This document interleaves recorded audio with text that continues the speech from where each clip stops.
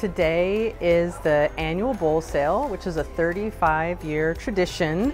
It's run by the Clemson Ceramics Association, which is a student organization. The Clemson Ceramics Association is a club that meets about once a week. A lot of the students that are in the art department will come and make things for sales and the money that we make goes to support CCA. It's always very, very exciting to see our students who may be selling one of their artworks for the first time, what it's like to interact with a customer. And that connection between two people, I think is something that's very special.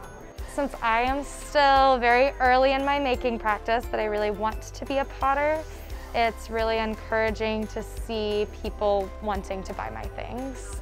All the bowls are made primarily by our students, so they'll change every year. There's something new to find.